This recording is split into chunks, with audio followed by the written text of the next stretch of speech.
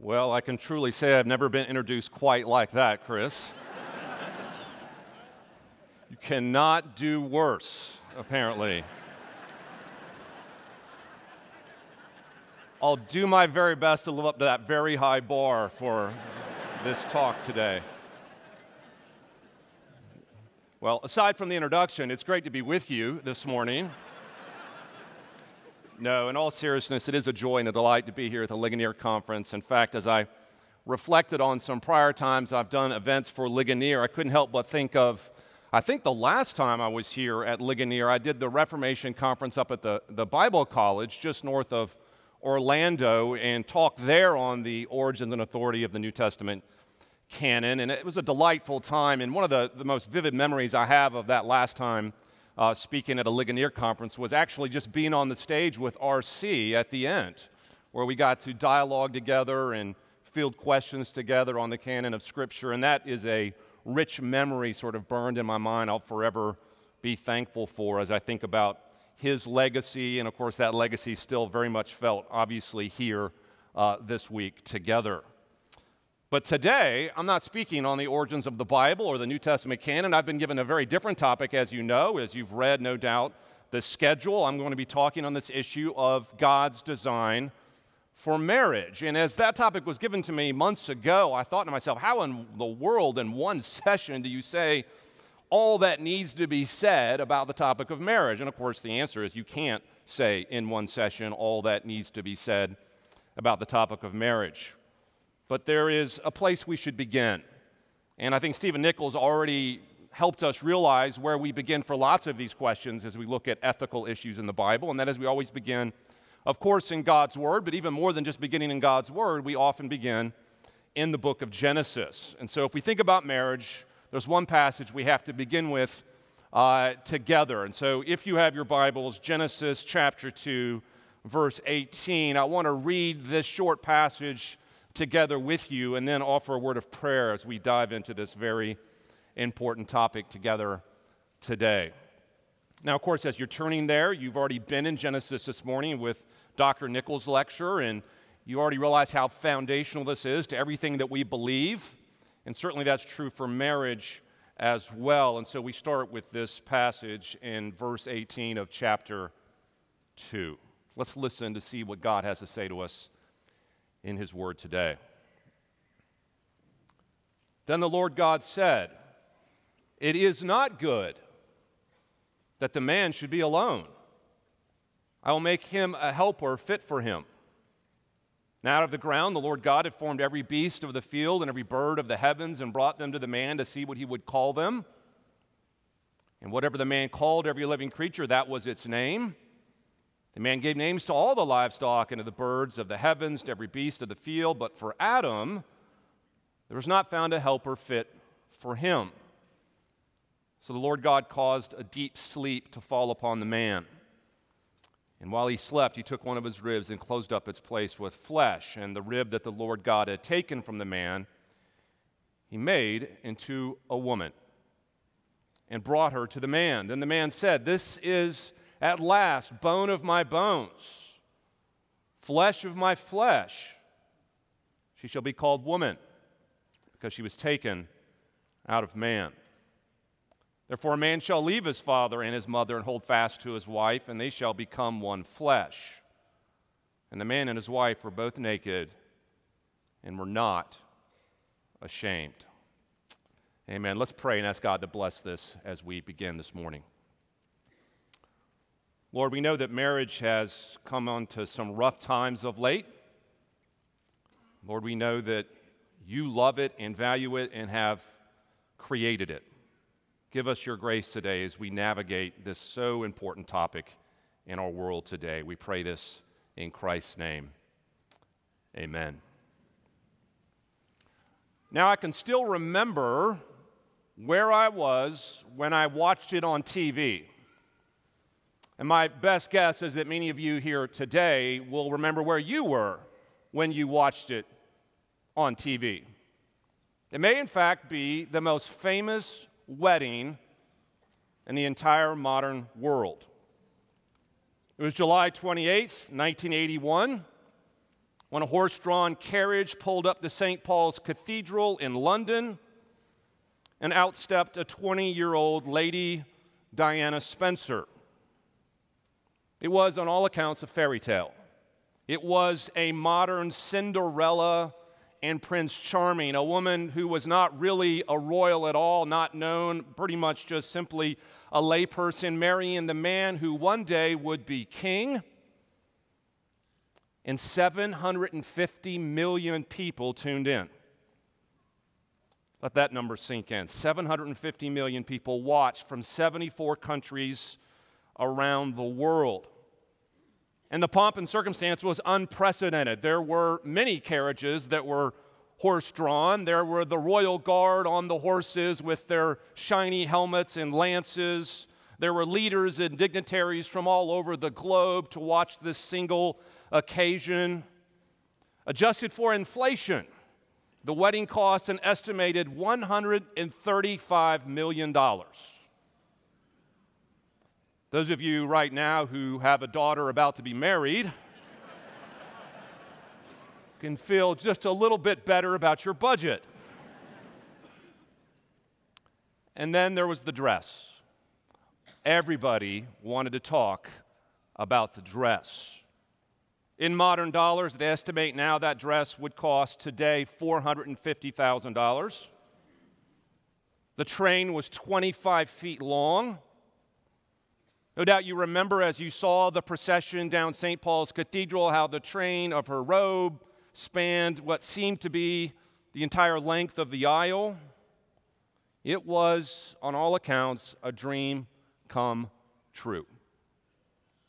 But of course, we all know the dream wouldn't last. Soon there was tension in the marriage. Soon there was coldness. Then there was fighting. Then after that, there were rumors of affairs. And then, five short years later, in 1986, Prince Charles was able to declare that his marriage was irretrievably broken. By 1996, the two had formally divorced. And by 1997, so sadly, Diana was dead, having been killed in a car crash. What started out as a fairy tale wedding ended up being a Shakespearean tragedy. Now, as I think about that wedding and I think about even that marriage, I wonder if there's many other things in our world that can capture in one scenario the extremes of our world's view of marriage. On the one hand, you have the overly romanticized view of marriage that marriage is the pinnacle of human existence, and if you just find the right person, all your problems will be solved, and the birds will sing, and the sun will shine. And on the flip side, you have the most pessimistic view of marriage that marriage is awful, it's terrible, it ruins and shatters people's lives, and leads, in this case, in some strange, bizarre turn of events, even to someone's death. Perhaps no surprising then when you think about marriage in our modern world that it's fallen on tough times. It's not just the story of Charles and Diana that's caused it to fall on tough times. You yourself know as you look around the world that there's this general malaise about marriage today. Yes, most people that we know are married. I would imagine that most people in this room are probably married, but being married doesn't mean you have the right view of marriage. Being married doesn't mean you rightly value marriage. And now we hear all kinds of things about marriage that marriage is not really even necessary, that mar- marriage is just a, a piece of paper, that marriage is overly restrictive and limiting, that marriage stifles individual identity, that marriage is a 1950s cage to trap you in, and on and on it goes. Of course, we don't even have to talk today about how marriage is being challenged and redefined as our culture wants to go in all kinds of new pathways and directions. Perhaps it's not surprising then to learn, and as I learned just recently reading the US News and World Report, that as of 2020, the frequency of marriage, the rate of marriage in our world is at an all time low. In fact, since statistics were kept since the 1800s, there has never been a time in all of modern history, history where people get married more infrequently in the Western world.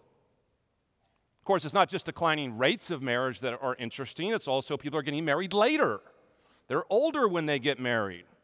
Let's let this stat set in. In 1978, people between the ages of 18 and 34, about 60% of them were married. 60% of people between the ages of 18 and 34 were married in 1978. Today, that number has dropped to 29%. Now, when you look at these numbers, it's disheartening. And it would be all too easy, I think, to reach the conclusion that, you know, the reason marriage is on the rocks is because we live in a, a pagan world that doesn't love God and His Word. And I imagine in some sense that's true. There's no doubt, in some sense, it's true that marriage is having hard days because we live in a world that maybe just wants to buck up against Scripture. But I want to also suggest, though, that many people struggle in their view of marriage, not so much because they're anti God's Word, although they may be, but because they themselves have grown up watching and seeing a broken marriage. How many thousands of people have grown up in homes where they saw all the pain, all the division, all the dysfunctionality, all the heartbreak of a bad marriage? In other words, perhaps the malaise over marriage isn't just about people rejecting God's word, although it can be that. Perhaps the, la- the malaise about marriage is generations of broken marriage, generations of sin that have now had their effect. And honestly, we can have compassion on those many, many people who find themselves coming out of marriages like that um, and wondering how they got there. In fact, statistically speaking, I imagine there's probably many in this room who maybe have grown up in homes that were a broken marriage. Just statistically speaking, you may have been in a very home where your parents were the ones that fought. Your parents maybe got divorced. Maybe in your family there was infidelity. So marriage is having a rough go of it. So, what we need today is, in some sense, a, a rehabilitation of this idea of marriage. Now, in this one little talk, of course, we can't get there. We can't fully rehab marriage in one talk. But here's what I want to do. Based out of this passage in Genesis 2 that we read earlier and some of the surrounding verses, I want to just offer five truths about marriage today. Five truths. Now, of course, we'll move through these quickly, but these are five things that we want to at least say today about marriage. It's not all that can be said about marriage, but certainly something that we need to get out of the gate. So let's jump into these five things together. First thing of the five marriage is a divine institution. Marriage is a divine institution. We begin with the most foundational fact about marriage.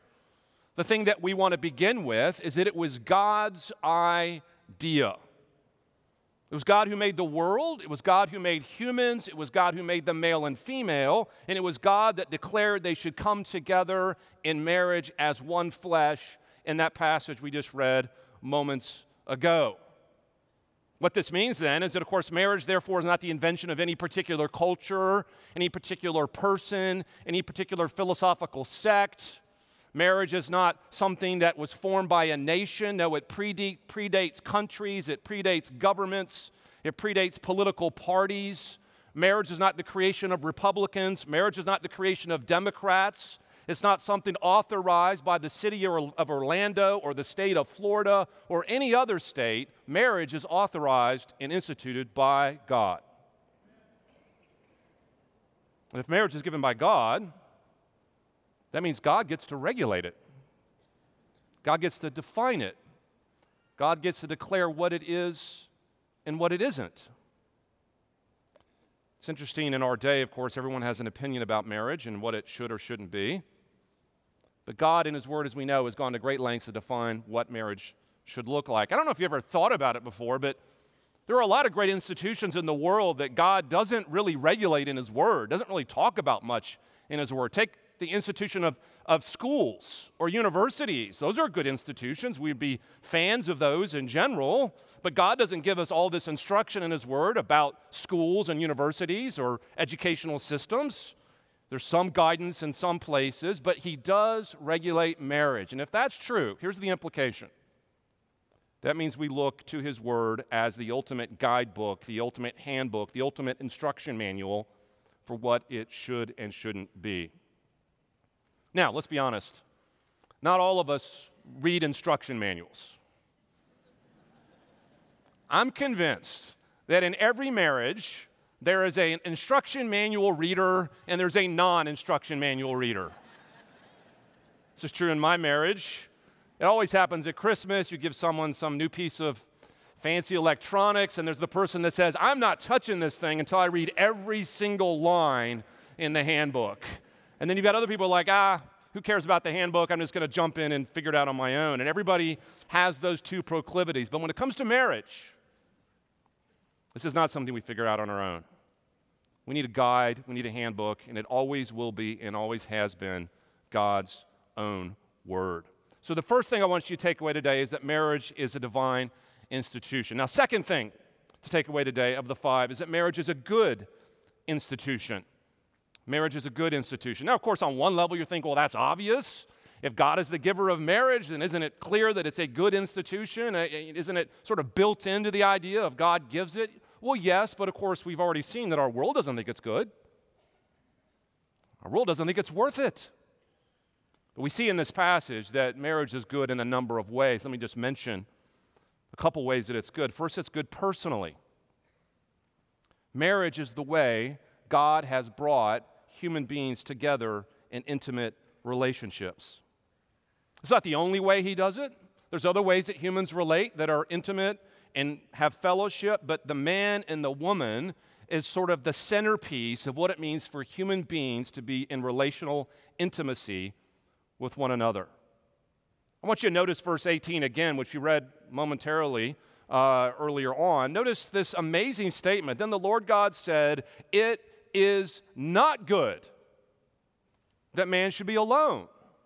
Now, of course, you know that if you just read Genesis 1 before this, Genesis 1 is a long litany of it is good. God made it and declared it to be good. God put something in place and declared it to be good. So it's, it's good, it's good, it's good. We get to verse 18 of chapter 2, it's not good. What's not good? Aloneness. The man is by himself. And then he describes marriage with the greatest intimacy. We saw it. Look at, I mean, how intimate is this? Bone of my bone, flesh of my flesh. She shall even have a name like his name, woman out of man. The Hebrew reflects this. The Hebrew word for man, ish, woman is isha. They're intimately linked. So intimate, in fact, that they're both naked and not ashamed. Truth be told, that's what we all want out of human relationships. That's what we all want out of marriage. This beautiful picture of companionship, intimacy, that you could freely be with another person without fear or shame. God knows your desire and He's given something for that. It's called marriage. It's interesting that God didn't just come up with this idea sort of out of the blue, the idea that people should be in relationships with one another, because God is a relational God. From eternity past, Father, Son, Holy Spirit, Trinitarian, loving one another within the Godhead. So is it no surprise then that He builds marriage as the wonderful fulfillment of what relationships can and should be? So marriage is good personally, but it's not just good personally. Here's another thing about it being good that's important is it's also good globally. It's good for the world. Here's a mistake that's often made in discussions about marriage. People think that marriage is, is basically all about us, that marriage is only about my personal fulfillment, that marriage is just an existential thing to make me feel good individually. Well, God does want to bless you personally. God does want to give you intimacy, but marriage is much bigger than that. Marriage is about more than us. What is marriage about? God's plan for the world. Let me explain what I mean by this. If we had time, you don't need to turn there. If we had time, we could go back to chapter 1, and I think Stephen may have even mentioned this in his first talk, where God gives what we call the dominion mandate in, Revel- in Genesis 1:28. Here's what he says. Here's the marching orders for this new married couple. Be fruitful, multiply, fill the earth, subdue it, and have dominion over it. As I said, this is in theological terms known as the dominion mandate, and it's very simple. God has given the world to humans to have dominion over, and his number one goal at this point is I want you to fill it up. I want you to multiply. Now, you might think, why is God so concerned about this? Why does God have it on his agenda that well, I want you to fill up the world? I want you to, to spread little human beings all over the world. Well, there's a reason for that. And actually, it's fitting that this talk comes after Stephen's because God made human beings in his image. As we've already heard, they reflect his glory. When you see a human being, you see a reflection of their creator. They are little bitty images of God all over the world.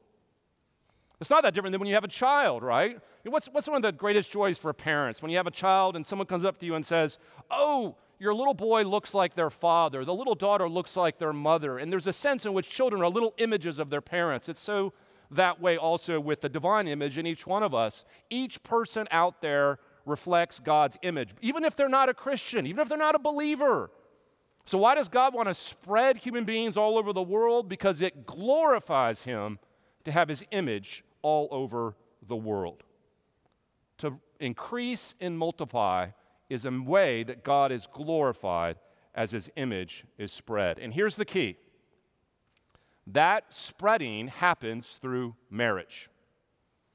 God has given marriage as not just a blessing for us individually and personally, yes, but globally. It blesses the world. Do you realize that even out there in the world, even if they're not believers, even if they're not even Christians, even if they're another religion, if someone gets married and has children, there's a sense in which that glorifies God by virtue of fulfilling the dominion mandate and bringing more image bearers into the world to give him glory.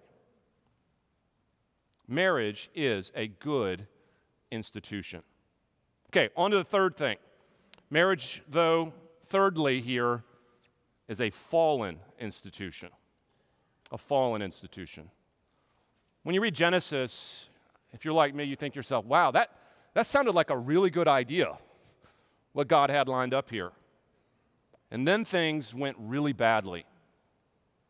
We know in the very next chapter here, chapter 3, that it wasn't long after God established this wonderful marriage concept that there was the rebellion of Adam and Eve, there was the bringing of sin into the world, there was the fall and the curse, and things that started off so good so quickly went bad. Have you ever thought about all the ways marriage is affected by the fall?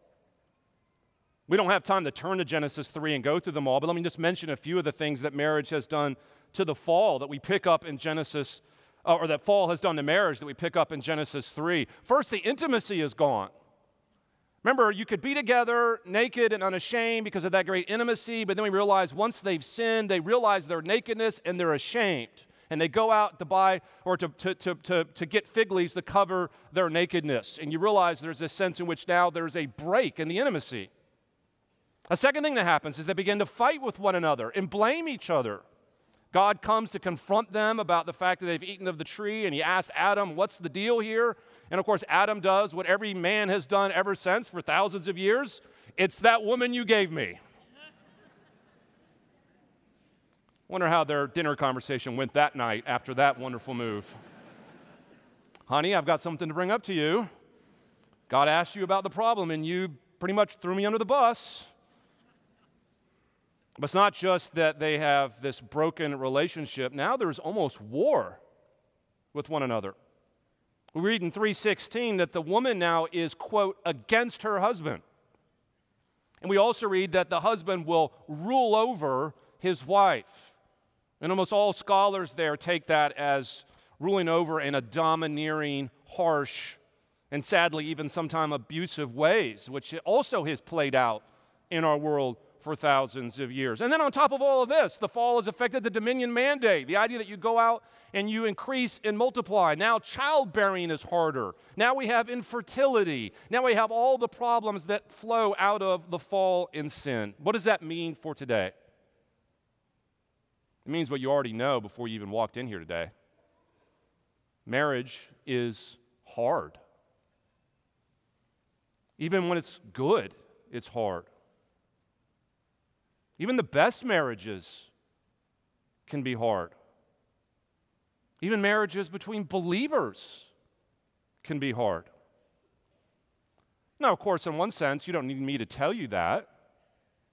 But our world, as we've already indicated, still has this overly romanticized, idealized way of looking at marriage that will backfire on you someday if you don't take into account the fallen nature of marriage in our world today. And even believers have started following that ideal. I mean, just think about it for a moment. Every Disney movie, every Hollywood romance, everything you watch on television prevents a vision that, okay, all you have to do is find the right person, your soulmate, you go out and you get married, and everything's going to be right in the world. It's going to be romantic. It's going to be wonderful. The sun will be shining. The birds will be singing. It's perfect. And then there's shows that say, well, tell you what, we'll help you find your spouse by whisking you away to some Caribbean island somewhere, and you can pick the spouse of your dreams, and we'll give you candlelit dinners on the beach as the sun is setting, and lo and behold, it seems that you fell in love. Then, of course, we always know if we check back in with these couples in six months after the show ended, hardly any of them are ever still together.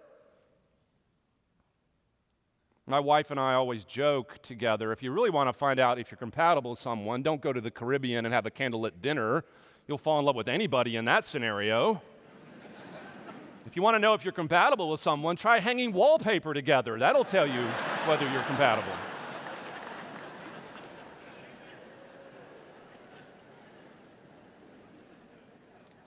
Right now, many spouses are looking at each other in the audience, I think. So, remember that time we hung wall? Never do that again. Here's the point if we're going to make it through marriage today, if you're going to survive in marriage today in a fallen world, it will not happen on its own. It does not just happen naturally. You don't drift into a good marriage. If there's a fall, if it's broken, if we're sinners, then marriage requires gospel saturated, grace motivated, scripture guided diligence from both individuals and churches to make it. Don't be surprised that marriage is hard. Of course, it's hard. You live in a fallen world. What do you expect? My fear is that many people abandon marriage, not because they think so lowly of it. Many people abandon marriage because they have a highly romanticized, almost idolatrous view of it. And when the idolatry doesn't meet all their needs, they look for a new God. We need a new perspective on marriage. It has to be looked at through the gospel. And on that score, that leads to a fourth thing today about marriage. And that is, fourthly, marriage is a redemptive institution. Marriage is a redemptive institution. After reading all the things that went wrong with marriage in chapter 3, if you're like me, you're like, well, things started off great, went bad. It's like, it's like the Diana and Charles wedding, right? You have this wonderful optimism and then total destruction. You're like, what could ever be done? And God says, I'm going to do something. All of the things caused by the fall, I'm going to fix. And he promises it, of course, in verse 15 of chapter 3, what is the proto gospel of the whole Bible, the first promise of grace that the Bible sees. It's an amazing thing that you've read before, but I'll read it again. God makes a declaration to the devil I will put enmity between you and the woman, and between your offspring and her offspring. He shall bruise your head and you shall bruise his heel. In other words, Genesis 3:15 is the first promise of a savior. A baby will be born at some day down the road from a woman, from a marriage. A baby will be born, and this baby will be the savior who will crush the serpent's head. He will be the snake killer that defeats the devil. In fact, it would not be too much to argue that the entire Bible after Genesis 3 is all about waiting for that baby, longing for that child. At every stage along the way, there's this sort of palpable anticipation among God's people. Is this the one? Might this be the Savior? Could this be the promised offspring that will finally crush the serpent's head? In fact, interestingly, even in the very next chapter of Genesis, after the, the mess with Cain and Abel, what happens? Adam and Eve have another child named Seth. And here's what Eve says it's very insightful. She says, I have given birth to a man. What might she be thinking? Scholars think that what might she be thinking is she might think this might just be the promised baby that will crush the serpent's head Of course, Seth wasn't the promised baby, as we know. Generations would go by as people wait and long for what would come. You ever wondered why the Old Testament's so obsessed with genealogies and so obsessed with the family line? Is it any surprise that Matthew begins with a genealogy? Because it all leads up to one particular baby that would be born of a woman that would crush the serpent's head. Here's the thing I want you to realize is that marriage is a redemptive institution because through marriage, through generations of families, God was going to bring a Savior. He was going to bring a child born into the world to redeem it. Marriage is a mechanism, then, which God would bring the Redeemer to save his people from their sins. Now, of course, there's more that can be said about the redemption through marriage. We could also talk about covenant lines, that God blesses covenant families. That's another thing worth noting here. That it's not just that there's one baby that will be born, but God will have covenant families who raise children in the fear of the Lord and teach them His word, and that God works through families, He works through marriages. So, how is God going to spread His word throughout the world? He does it through marriages, through parents who love Jesus and teach it to their children and pass it along. Marriage is a redemptive institution. But that just leads up to the fifth and final thing here this morning, which is really where all this goes to. Marriage is all the things we've said thus far, but it's also, fifth and finally, a gospel institution. A gospel institution. Let me explain what I mean by this. As soon as we talk so much about how wonderful marriage is, and it is, as soon as we talk about how important marriage is, and it is, there's a mistake that can be made. It's a mistake that I see a lot, and it's a mistake that is easy for us to grasp a hold of. And here's what the danger is. When we look at how important and central marriage is to God's plan, some can think, therefore, that marriage is the pinnacle of all human existence. That without marriage, somehow someone is defective or deficient. And that the height of human existence is to finally be married and all your problems will be solved. But marriage is not the pinnacle of human existence.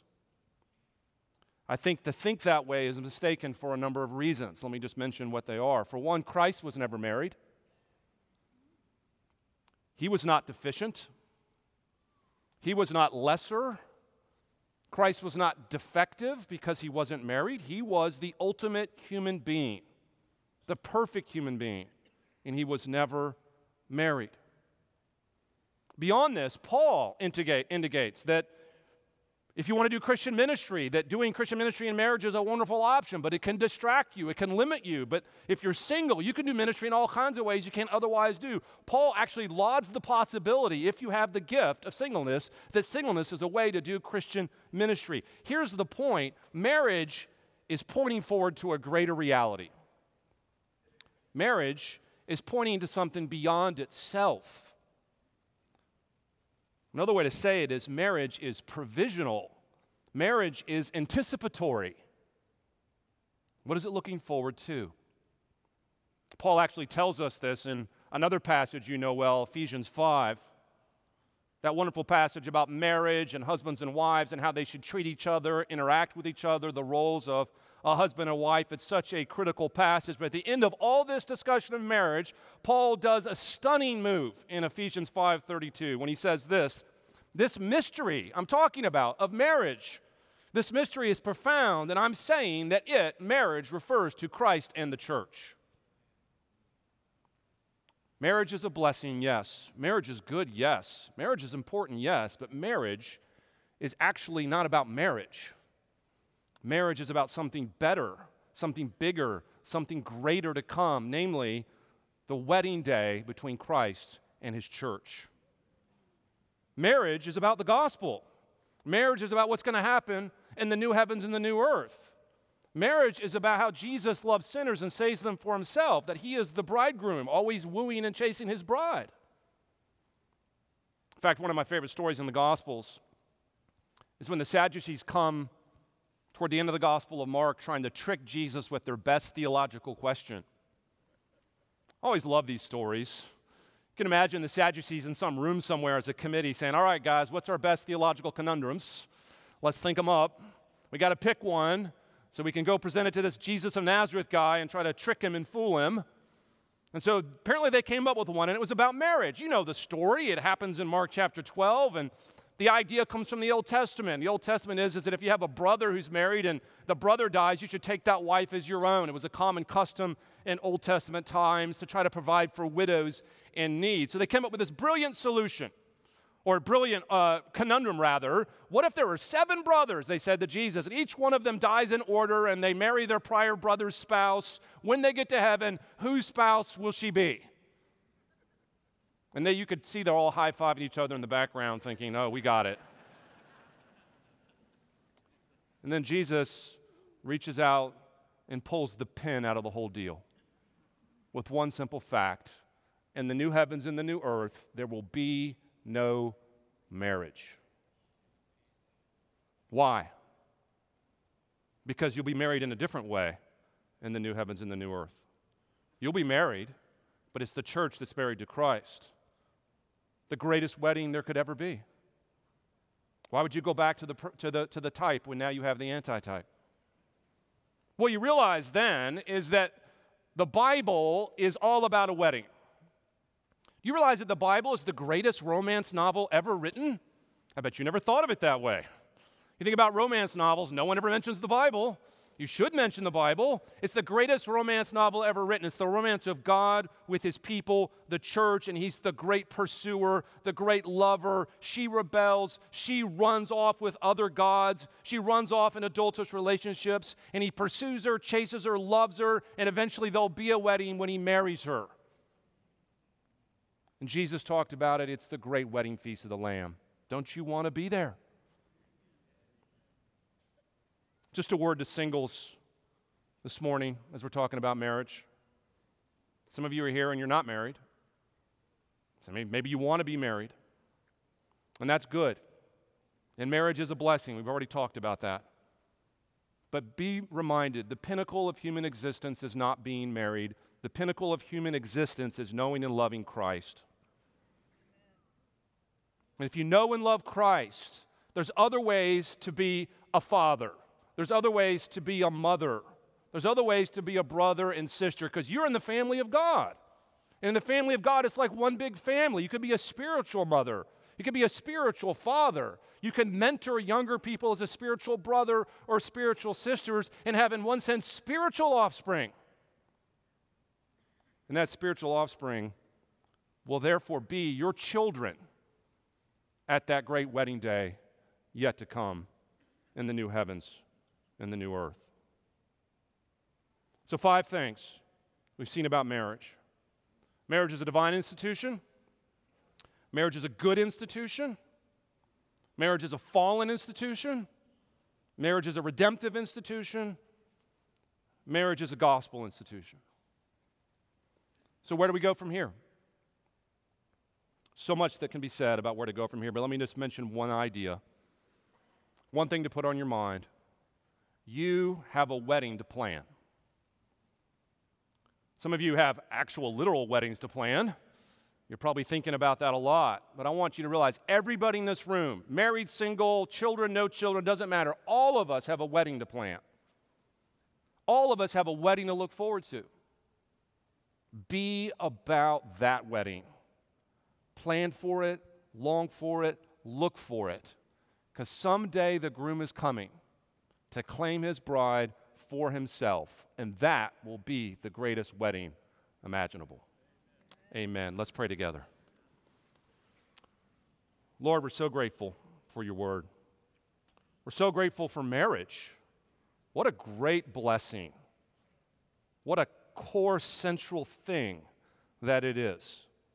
Lord, help us preserve it, help us defend it, help us uphold it.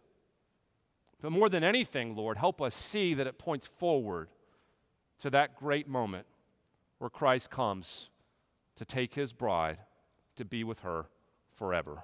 We pray all this in Christ's name. Amen.